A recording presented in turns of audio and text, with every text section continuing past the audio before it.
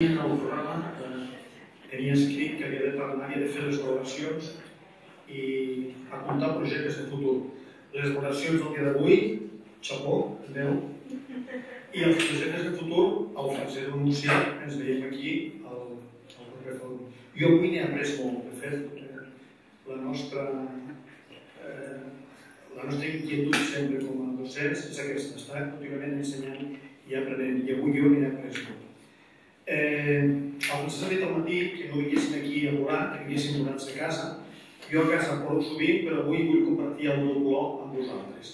Jo us parlaré de la situació del català a l'audiovisual. En general, jo defugeixo una mica l'àmbit educatiu, tot i que finalment tot és educació, i us parlaré de la situació actual del català en, en els mitjans audiovisuals. Mireu, fins ara, i durant molt de temps, amb escrits, ponències i debats que he fet d'aquest tipus, anava afirmant que aquí a Catalunya, a casa nostra, teníem una llengua, perdó, una literatura, una música i un teatre més o menys normalitzats. Podríem triar a la cartellera que anar a veure de teatre, podríem llegir llibres en català, si més no triar-ne, i podríem, podríem escoltar la bona música en català que és la casa nostra.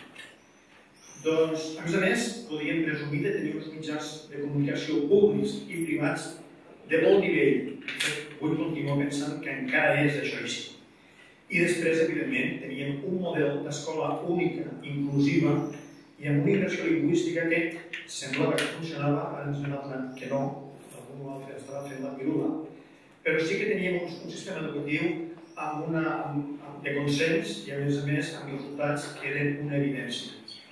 Eh, doncs bé, avui, dissabte 4 de juny del 2022, us diré que tot aquest argumentari ja no és cert, perquè és que acabava arreglant tota aquesta afirmació dient que l'únic àmbit que no estava normalitzat era el de la comunicació audiovisual.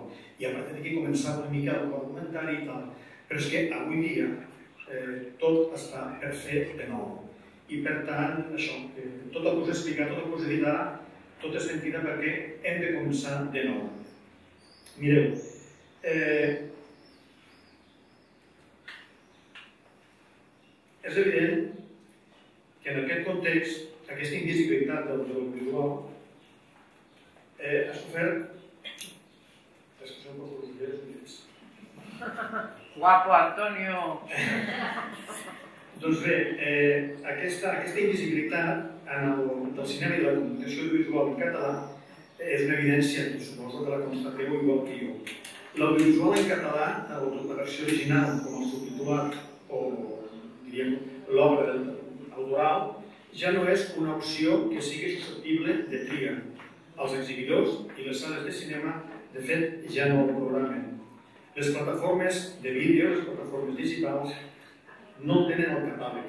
Els videojocs l'ignoren. I les xarxes socials que promouen continguts i clips per a un públic jove, de fet, tampoc el Eh, I de fet és un problema, perquè és que aquesta impulsió que ha sofert la cultura d'un temps ençà, en tots els àmbits, és, és enorme i desproporcionada i que està molt lluny, penso, de l'ideari, de del consens, de la voluntat i d'allò que ens havíem donat entre tots, està molt lluny d'aquesta majoria, de la, de la voluntat d'aquests ciutadans i ciutadanes que conformen aquest país. La llengua catalana, que és el símbol indestriable de la nostra identitat, s'està perdent ja no podem triar lliurement ni què veiem, ni què escoltem, ni quina hora assistim. Fins i tot penso que ja no podem triar ni com vivim. Bé, doncs, fa uns mesos, si ho recordeu, que va ser desembre, vam assistir estolats a les negociacions del govern de l'Estat amb el govern de la Generalitat sobre la presència del català a les plataformes digitals. Ho recordeu, això? Doncs un debat que en aquell moment per mi era innecessari i ho continua sent ara.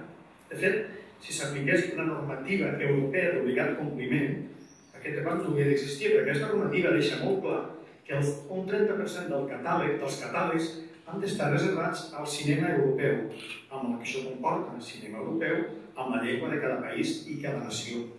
Però és que, a més a més, si ens acollíssim l'article 3.3 de la Constitució espanyola, diu que la riquesa de les diferents modalitats lingüístiques d'Espanya és un patrimoni cultural que serà objecte d'especial respecte i protecció. Vull dir que aquest debat no havia d'existir, no calia que existís si realment apliquem això que, que està legislat, que està, que està en aquesta Constitució espanyola que sovint es fa referència. Doncs bé, jo us pregunto per què creieu que es produeix aquesta manca de programació i de consum de l'audiovisual? D'una banda, programació i d'altra banda, consum.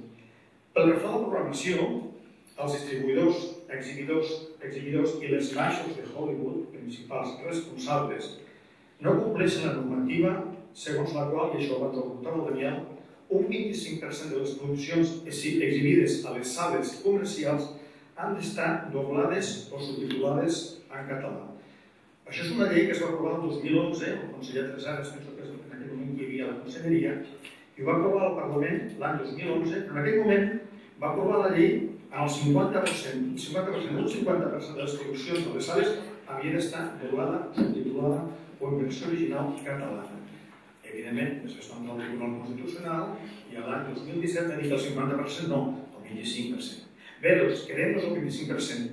Doncs és que ni el 25%. Si jo us pregunto ara, per anar molt lluny, quantes pel·lícules creieu que hi ha avui programades en català a les sales, a les, a les Gavarres, a les sales d'ocini que hi ha a Tarragona?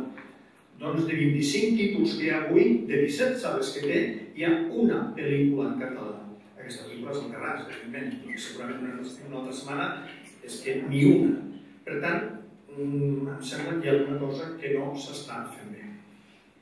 Però anem ara al, al consum, al consum de l'audiovisual. Eh, penso que nosaltres, com a espectadors, vosaltres i jo, no tenim interès al consum de les produccions en català, ni doblades, ni originals, ni subtitulades. No tenim interès en veure aquest tipus de cinema, perquè estem parlant, evidentment, d'un cinema de producció petita, justa, d'autor, de baix pressupost, i evidentment eh, és un fet això. Si us pregunto també ara, no cal que em contesteu, quina és la pel·lícula que vist al cinema, a les plataformes o fins i tot a la televisió? No cal que em contesteu, però pensem. Pensem perquè això és important.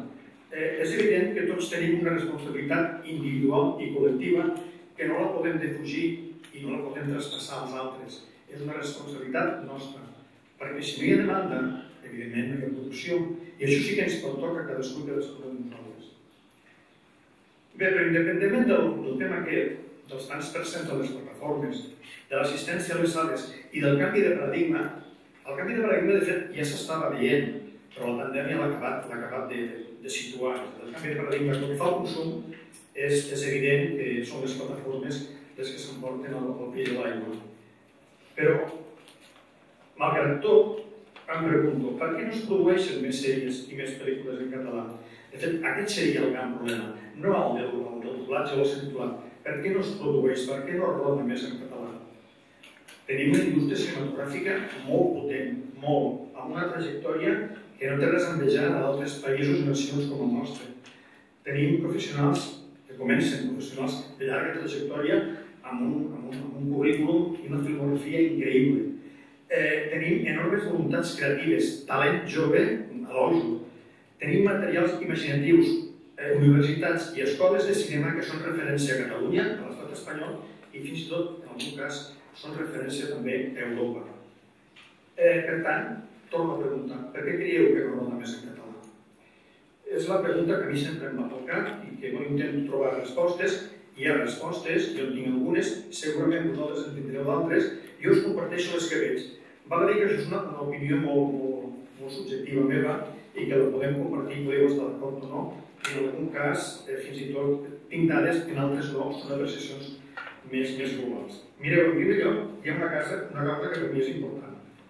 Les productores catalanes, les poques productores catalanes que no han fugit, que estan aquí, i us parlo, per exemple, de l'Astor Media, Costa Films, Helena, Ana Films, Antaviana, BNC, Distinto Films, underground, Film Zero, etc. N'hi ha unes quantes, afortunadament n'hi ha unes quantes petites, però n'hi ha. Doncs bé, aquestes productores no volen assumir riscos. Concretament l'Astor Media ha fet un, un salt endavant amb, amb la pel·lícula Alcarràs, però és que Mediterrani i Libertat, de la mateixa productora, s'han rodat en llengua castellana. Mediterrani és una història que passa aquí, Libertat també.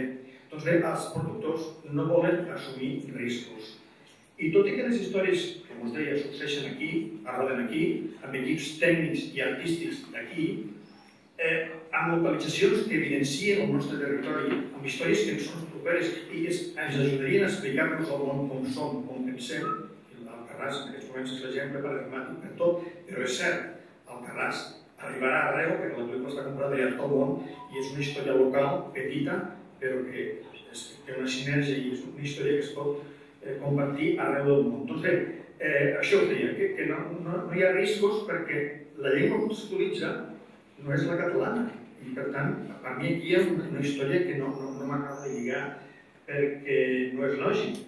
És una falta d'incentius per a les productores? Segurament sí. Falta d'incentius econòmics? Segurament. És una por a la distribució als mercats i a les vendes? Segurament també, però no la comparteixo. Si hi ha una, un bon producte de qualitat, la llengua no és important. No és important. Eh, és una, és una, una falta de rendiment. A la llarga, no. Si el producte és bo, a la llarga hi ha rendiment, hi ha retorn del diner invertit. És una baixa autoestima o un complex per tenir una llengua de segona? Jo que diria que sí. Tenim una mica aquest complex de la dona maltractada Catalunya i això és terrible i ho vivim, ho vivim a diari en tots els àmbits, però en l'àmbit audiovisual sobretot aquesta por de produir en català perquè és que fora de Catalunya no arribarem. Això no és cert i no ho puc compartir de cap de les maneres i en molts productors d'aquests això ho discuteixo de totes, totes, evidentment, jo no soc el que poso els diners perquè sempre m'argumenten el tema econòmic que és cert i ara ho analitzo també. La falta de dotació econòmica per part de l'estat espanyol per finançar produccions de sèries i pel·lícules en català, això és una evidència. En el context de les darreres negociacions es va pactar que s'aportarien 10 milions i mig d'euros per rodar pel·lícules en les llengües oficials de l'Estat. 10 milions i mig per a tres llengües oficials de l'Estat espanyol. Això què és? Això és misèria i companyia, dir, això no arriba enlloc la interrupció per part del Tribunal Constitucional de l'anomenat impost de les teleoperadores, el fondillo que dèiem avui, a l'hora de dinar, una taxa que va aprovar per una àmplia majoria al Parlament de Catalunya, no va permetre que es desplegués el Pla Estratègic de Foment de l'Audiovisual 2017-2020 de la Generalitat de Catalunya. Aquella era una bona mesura paliativa, si més no paliativa, per la producció de l'audiovisual català. Però de nou, Judicatura, el Tribunal Constitucional, i va intervenir i va dir no, això fora, aquest tondillo fora, no és legal. L'ISEC, ara venim a casa, l'Institut Català de les Empreses Culturals, organisme que depèn del Departament de Cultura, no prioritza la producció d'originals en llengua catalana i les línies de subvenció atorgades no estan a l'alçada. Fa dos dies, a la Fabricadà, a Barcelona, Francisco Vargas, el responsable de, de, de l'àmbit audiovisual de l'Institut Català de les Empreses Culturals, deia que sí, que des de feia un any i mig havien implementat una nova línia de subvenció, però evidentment és una línia molt infravalorada. És molt difícil arribar-hi, perquè a més a més tots els condicionants, les pautes, els ítems que et demanen per poder accedir en aquests en, aquests, en aquestes produccions, tant pel que fa a la producció, el rodatge o la, o la comercialització, són enormes, bestials, i la gent acaba rendint-se. I finalment, eh, no és fàcil accedir a aquestes línies de subvenció, que sí, el Francisco Vargas va dir que ara sí que hi havia un, i va parlar de percentatges, etc. però a mi no em va convèncer perquè sé que en el fons, igual que els festivals, com ens costa com nosaltres arribar també a subvencions, i nosaltres, per exemple, com a festival no volem cap mèrit, però proporcionalment que rep el Festival de la Barberà comprada la que rep el Festival de Sitges és molt diferent i el Festival de Sitges amb tot el carinyo pel Festival de Sitges, eh? que l'estimo molt i vaig cada any i gaudeixo molt del cinema, però no és proporcional, perquè aquell és el festival de referència de Catalunya.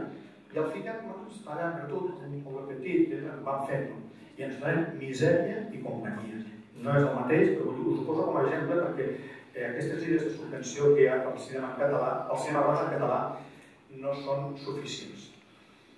TV3, la nostra, no és la televisió de suport de la producció rodada en català, ni de bon tros, no és el motor del sector. I TV3 hauria de participar, produir i coproduir els originals rodats en català i acompanyar-los en tota la fase de la comercialització i l'estrena a les sales de cinema. i, evidentment, en la programació informativa de la cadena.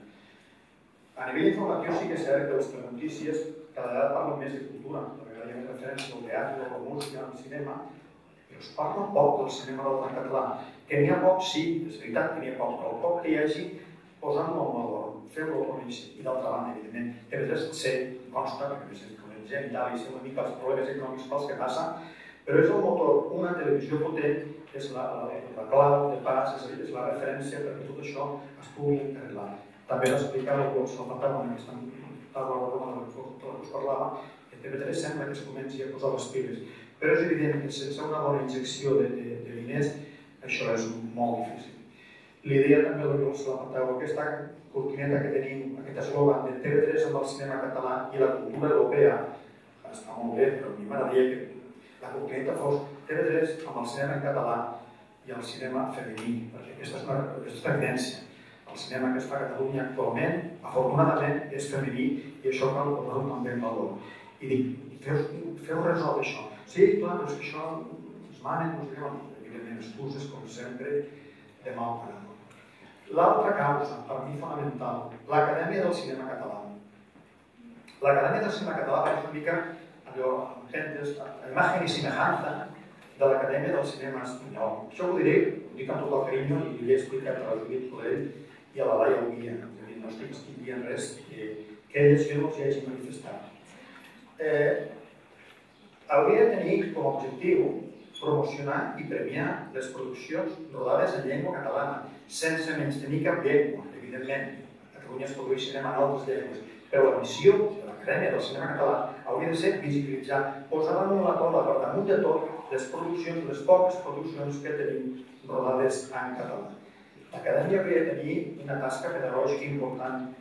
Ho té, ho el programa, afortunadament, la nova Junta, la president Judit Coller, té una voluntat d'arribar als centres. Ens hem fet una mica, com, com ho podria fer el Màgic, o ho podria fer altres entitats, cinema, cinema en curs, gent que estem treballant en aquest àmbit ens han ofert d'una forma altruista orientar i explicar-los què fem nosaltres als centres educatius. I em diu Judit i la Laia, sí, sí, en parlem. I també fa dos dies, Judit, som-hi. Hem hem de posar. I ja fa un any que són al capdavant. Han fet feina, han fet molta feina perquè tota aquesta història del protocols que han creat per l'assetjament sexual està molt bé. Però, finalment, l'única funció de l'acadèmia és organitzar una, una gala Gaudí. Està molt bé, evidentment, perquè això surt a la tele i el cinema català i tal i qual, està molt bé. Però penso que l'acadèmia té una funció pedagògica fonamental i no la fa. I no la fa. Parlant de, de premis, parlant de Gaudís, mireu, a la passada edició dels Premis Gaudí només hi havia cinc produccions catalanes, rodes en català. Bé, no eren cinc, eren quatre i mitja. Perquè la, la cinquena pel·lícula, una producció, no dic el títol, que estava rodada amb un 25% de català. La resta, per arribar al 50%, no per representar-se a l'acadèmia, sinó perquè la subvenció que rebia del CAC li exigia això, eh, estava doblada. Jo, bueno, tinc aquesta mania, el fill que durant tants anys miro molt tot el que ens arriba i intento que no se'ns coli cap vol. Doncs aquí els hi van colar molt, els hi van colar una pel·lícula que no era rodada en català, només hi havia un 25% rodada en català, va colar com a pel·lícula rodada en català els vaig dir sobre acadèmic. Ei, dieu això que quan vam arribar massa tard i ara ja no podem. Antoni em truca el director. Eh, dir, eh, van dir, impossible, no podem tocar això i tal i endavant. Afortunadament no és una de les pel·lícules que van. Doncs bé, hi havia cinc pel·lícules en versió original catalana i 17 en versió original no catalana. No és que hi hagi molta diferència de 5 a 17, però si més no, hi ha una diferència. I bé, excel·lents produccions a les esmentava, com Mediterrani, Libertat, Les velles de la frontera, Xavales, Tres, històries d'aquí, estan hablades en castellà. Bé, evidentment, llibertat creativa, evidentment, llibertat creativa, però dic perquè eh, són aquestes les pel·lícules que van guanyar. I al ventre del mar, de fet, Llibertat és la, la, la que es va portar el premi a la pel·lícula. Bé, excepció feta, evidentment, sis discorrents. Però la pel·lícula que va guanyar va ser Llibertat. I en canvi, el ventre del mar, l'única pel·lícula rodada en català de l'Agustí Villalonga, va marxar amb les mans buides. Aquestes pel·lícules, concretament, Libertat, Mediterrani, Les lleis de la frontera i Tres, també van tenir premis. Llavors, l'Acadèmia del Cinema Català i l'Acadèmia del Cinema Espanyol estan repartint els mateixos premis. No creieu que aquí hi ha alguna cosa que no diga? A mi em sembla que sí. A mi em sembla que sí. És a dir, l'Acadèmia del Cinema ha de tenir uns altres objectius, ha de treballar per un altre tipus de visibilitat de les produccions que es fan a Catalunya sense menys tenir cap llengua. No estic en contra de cap llengua, però sí que penso que la llengua del meu país s'ha de posar en valor. I per mi és fonamental perquè és el que, és el que ens identifica com a país. Segueixo. Les plataformes digitals són l'eina digital, l'eina de consum digital del present i del futur. Aquesta és una evidència. Eh, jo, evidentment, com ha dit el comunicament, continuo defensant el cinema, les sales, el litúrgia al cinema, la sala fosca, el silenci, aquell lloc i de dues hores pendent de la història, entrar dins i viure una altra qualitat i fer la meva i sortir i tornar als meus però en aquell temps vull viure aquella experiència i sempre puc, vaig al cinema. Però és evident que això està canviant i canviarà en el futur. Però és que no són només les, les, aquestes plataformes l'eina de consum, són també l'eina que en el futur generaran continguts de sèries, ficcions i documentals. Ja ho són ara, eh? ja ho són ara, és estan generant molt, molt contingut. Però és evident que Amazon Prime Video, Disney Plus, HBO o Netflix, jo crec que difícilment tindran interès a donar cabut a produccions a la nostra llengua, amb seu. Em voldria equivocar, em sembla que no. Quantes pel·lícules i sèries en català, per exemple, no tot el catàleg, les actuals, comercials i més conegudes o més populars, tenen els catàlegs. Doncs us poso exemples i números perquè vegeu una mica la comparativa. Amazon Prime Video, de 4.017 títols, repeteixo, no tot el catàleg, eh? les actuals, comercials i més populars, de 4.017 títols, 88 són Disney Plus, de 1.701 títols, 39 són en català. Netflix, de 5.134, 25.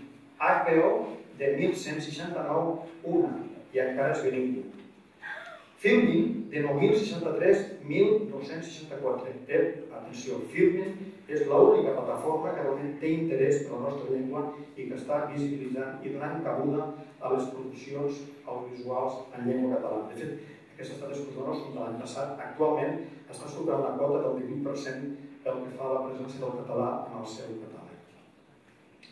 Una altra causa, els treballs i projectes de final de grau de les universitats públiques i privades, de les escoles de, i de les escoles de cinema, com l'ESCAC, la Pompeu Fabra, del CIC, etc., són en la seva majoria, aquests treballs de, de, de final de grau, són en llengua no catalana i són centres docents subvencionats pel govern de la Generalitat.